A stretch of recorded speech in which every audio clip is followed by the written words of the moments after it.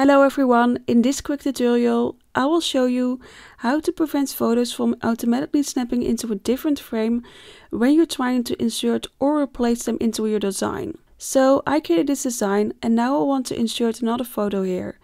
But when I try to place it in the left corner, it keeps snapping into other frames.